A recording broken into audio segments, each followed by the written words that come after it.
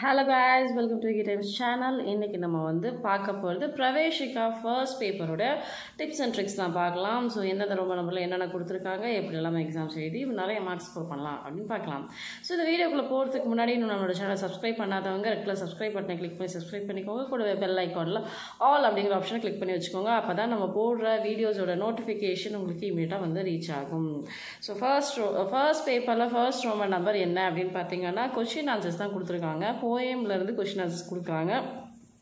இது வந்து eight questions இருக்குது நம்ம வந்து அதுக்கு ஃபைவுக்கு தான் ஆன்சர் பண்ணணும். ஒரு கொஷினுக்கு டூ மார்க்ஸ் ஃபைவ் கொஷின்ஸ்க்கு ஆன்சர் பண்ணால் டென் மார்க்ஸ் நமக்கு கிடைக்கும். இதெல்லாம் பார்த்தீங்கன்னா எப்படி எழுதணும் அப்படின்னா ஏக் ஹார் தோ வாக்கியம் ஒன் ஆர் டூ லைன்ஸில் எழுதணும் அப்படிங்கிற மாதிரி தான் இருக்குது ஸோ எல்லாமே சம் கொஷின்ஸ் எல்லாம் பார்த்தீங்கன்னா ஒன் வேர்டு சேஞ்ச் பண்ணி கூட நம்ம ஆன்சர்ஸ் எழுதுகிற மாதிரி தான் இருக்கும். ஸோ நமக்கு டென் போயம்ஸ் இருக்கிறதுனால நம்ம ஃபஸ்ட்டு ஃபைவ்ல இருக்கக்கூடியதை கொஞ்சம் நல்லா தரவாக படிச்சிருங்க. ஓகேங்களா? ஃபர்ஸ்ட் ரோமன் நம்பரில் ஃபர்ஸ்ட் ஃபைவ் போயம்ஸில் இருக்கக்கூடிய கொஷின் ஆன்சர்ஸை ஈஸியாக இருக்கிற கொஷின் ஆன்சர்ஸ் எல்லாம் ஃபஸ்ட்டு படிச்சிருங்க அப்புறமா டஃப்பாக இருக்கக்கூடியது கொஞ்சம் பெருசாக இருக்க லென்த்தியான கொஷின்ஸ் எல்லாம் அப்புறமா படிச்சிருங்க ஸோ எயிட் கொஷின் ஆப்ஷன்ஸ் கொடுக்குறாங்க. அதில் நம்ம ஃபைவ் தான் எழுத போகிறோம் ஸோ ஃபஸ்ட்டு ஃபைவ் நம்ம ஃபைவ் லெசன்ஸ் தரவா இல்லைன்னா கண்டிப்பாக ஃபைவ் கொஷின்ஸ் அட்டன் பண்ணிடலாம்.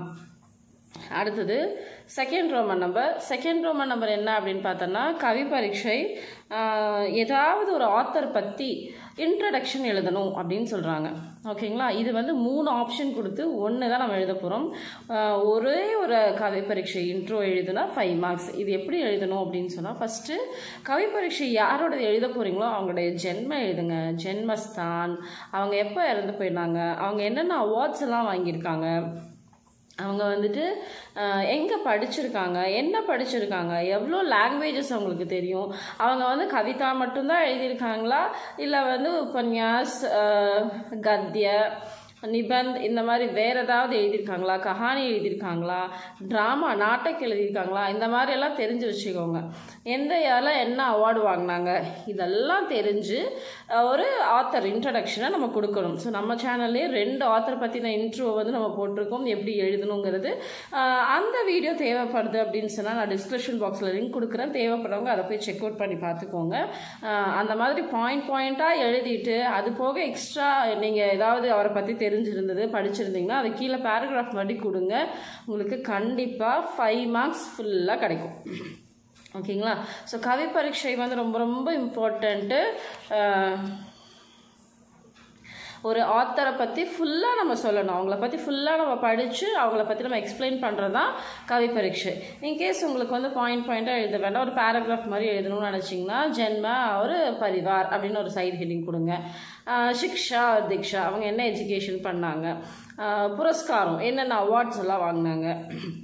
ஒரு ஒரு ஹெட்டிங் கொடுத்து போடுங்க. ரச்னாய் கிரியேஷன்ஸ் அப்படின்னு சொல்லிட்டு ஒரு ஹெட்டிங் கொடுங்க. இந்த மாதிரி பேசேஜாகவும் எழுதலாம். ஸோ இந்த ரெண்டு டைப்லையுமே நம்ம கவி பரீட்சையை நம்ம கொடுக்கலாம். ஸோ எப்படி கொடுத்தாலுமே சேம் ஈக்குவலன்ட் தான். ஸோ அதனால் ரெண்டு டைப்லையும் நீங்கள் வந்து படித்து வச்சுக்கோங்க. உங்களுக்கு எது தோணுதோ அந்த மாதிரி எக்ஸாமில் ப்ரெசென்ட் பண்ணுங்கள் ஸோ பரீட்சாவுக்கு பெரிய சைஸ் அதாவது லாங் சைஸ் பேப்பர் தான் இருக்கும். ஸோ ரூல்டு பேப்பர் தான் இருக்கும். அன்ரூல்டு கூட இருக்காது. ஸோ ரூல் பேப்பராக தான் இருக்கும். அதனால் கொஞ்சம் பிளான் பண்ணிக்கோங்க. ஒரு பேஜுக்கு அதை இன்ட்ரடக்ஷன் வர மாதிரி எழுதுங்க. ஓகேங்களா? அடுத்தது தேர்ட் ரோமன் நம்பர் கிசி ஏக்கு கவிதாக்கா சாராம்சம் லிக்கியே. ஏதா ஒரு போயமுக்கு நம்ம என்ன பண்ணணும்? சாராம்சம் எழுதணும் அப்படின்னு சொல்கிறாங்க ஸோ ஏதோ ஒரு போயமுக்கு சாராம்சம் எழுதணும். எவ்வளோ ஆப்ஷன் கொடுத்துருக்காங்கன்னா மூணு ஆப்ஷன் கொடுத்துருக்காங்க. ஒன்று தான் எழுத சொல்கிறாங்க அந்த ஒரு சாராம்சவுக்கு டென் மார்க்ஸ் கொடுக்குறாங்க. ஸோ அப்போது கவி பரீட்சை தனி இன்ட்ரடக்ஷன் சாராம்சம் வேற சாப்டர் அப்போ அந்த சாராம்சில் கவி பரீட்சையை பற்றி எழுதணுமா அப்படின்னு கேட்டால் கண்டிப்பாக அட்லீஸ்ட் ஒரு ஃபைவ் டு சிக்ஸ் லைன்ஸ் ஆகுது அந்த இடத்துல அவரை பற்றி மென்ஷன் பண்ணியிருக்கணும் ஸோ இன்கேஸ் நீங்கள் படிக்கிற போயமும் கவி பரீட்சையும் ஒரே ஆத்தராக இருந்துச்சுன்னா நல்லாவே தரவு பண்ணி வச்சுக்கோங்க. கவிதா கவிதாக்கா சாராம்சம் எழுதும்போதும் அவரை பற்றி யூஸ் பண்ணிக்கலாம். நம்ம எழுதிக்கலாம். அதே மாதிரி ஒரு போயம் எழுதும்போது சைட் ஹெட்டிங்ஸ் கொடுத்து எழுதுங்க. யசோதராக்கா விழாப்பெலாம் பார்க்கும்போது நிறைய ஹெட்டிங்ஸ் கொடுக்கலாம். அவங்க ஒவ்வொரு சுச்சுவேஷன் சுச்சுவேஷனாக தான் அந்த பேசேஜே இருக்கும். அந்த சுச்சுவேஷனுக்கு தகுந்த மாதிரி ஹெட்டிங் கொடுத்து ஸ்ப்ளிட் அப் பண்ணி நம்ம எஸ்ஏவை வந்து படிங்க. அப்படி படிக்கும்போது அந்த கான்செப்ட் மறக்காது. ஹெட்டிங்கும் மறக்காது. உள்ளே என்ன கான்செப்ட் இருந்ததும் மறக்காது.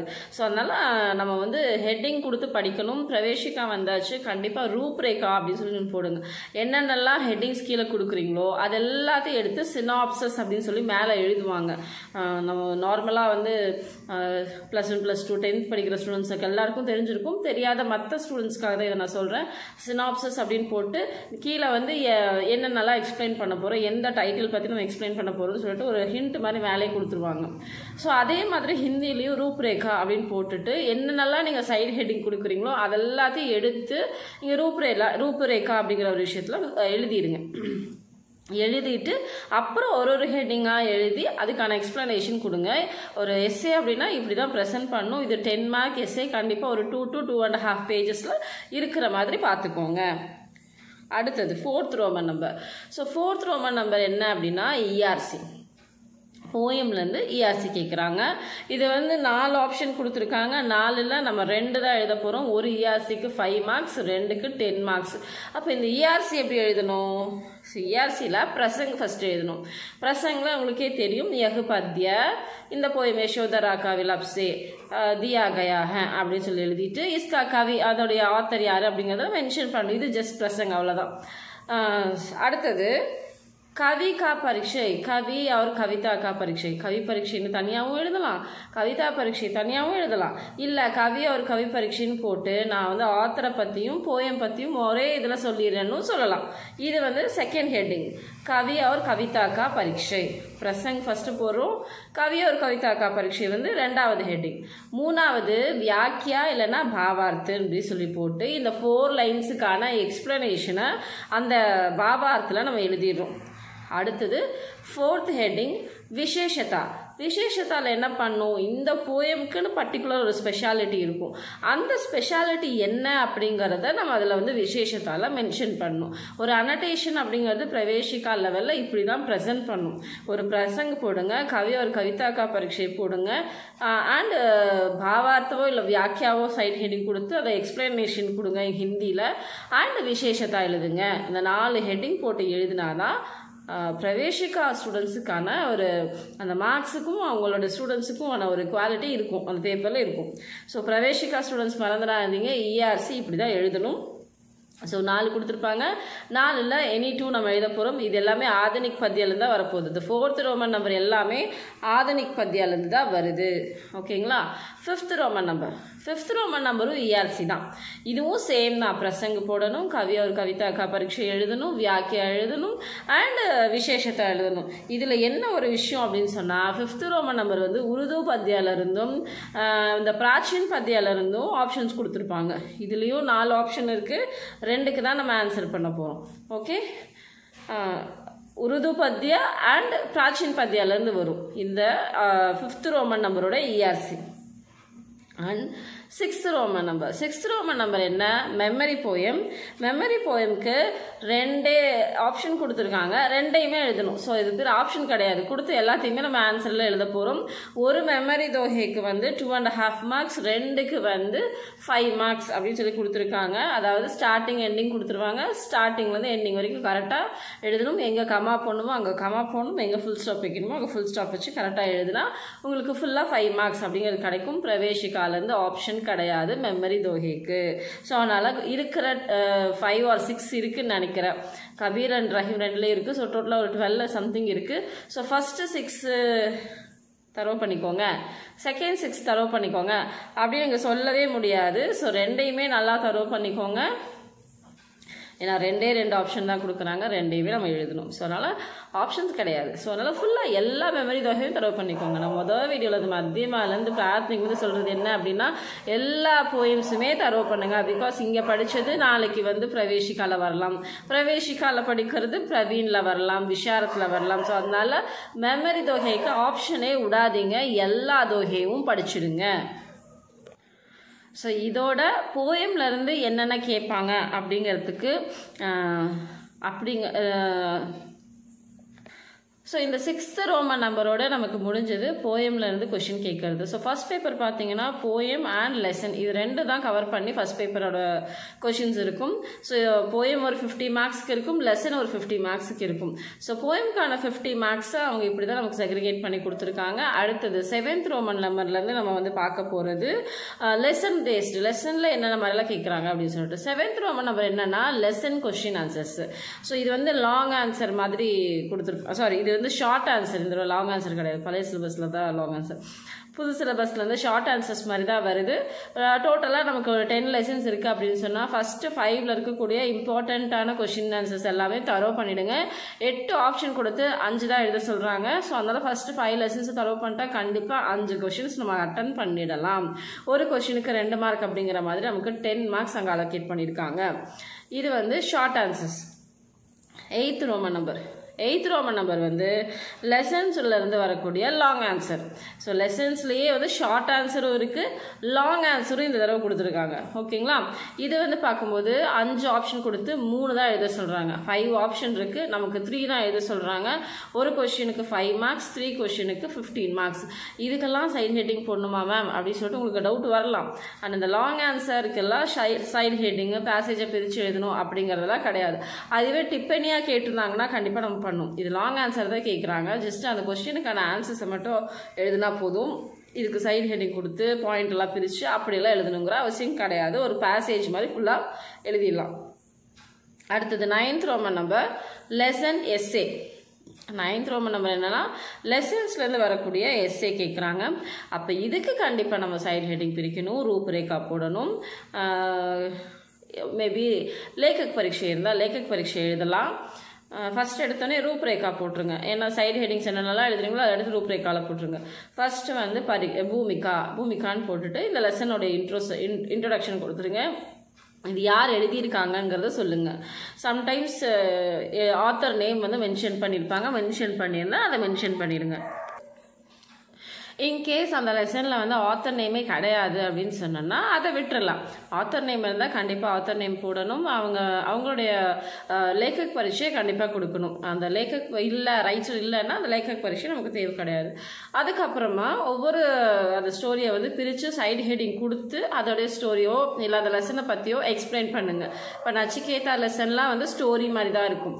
அப்போ அதுக்கான ஸ்டோரிக்கான சைடு ஹெட்டிங்ஸ் கொடுத்து எக்ஸ்பிளைன் பண்ணுங்கள் இதே யூனிகோட் அப்படிங்கிற லெசன் எடுத்துட்டோம்னா இது ஸ்டோரி கிடையாது. ஒரு ப்ரோக்ராமிங் லாங்குவேஜ் பற்றி கொடுத்துருக்காங்க. கம்ப்யூட்டர் ப்ரோக்ராமிங் லாங்குவேஜ் பற்றி கொடுத்துருக்காங்க. ஸோ அதை பற்றி எழுதும்போது ஸ்டோரிக்கு ஹெட்டிங் கொடுக்குற மாதிரி இதுக்கும் சைட் ஹெட்டிங் கொடுக்கலாம். இந்த ப்ரோக்ராமிங் லாங்குவேஜ்னா என்ன? அந்த மாதிரி யூனிகோட்னா என்ன?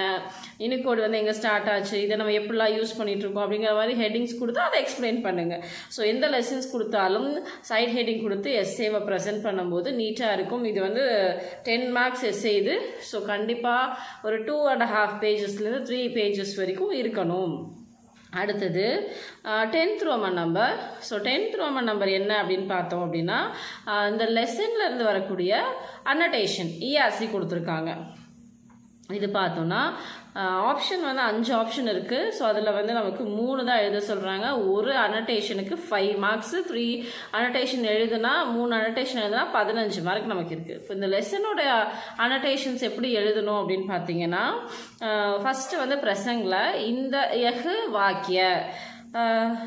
நச்சிகேதா நாமக்கு கத்தியசே தியாகயாக.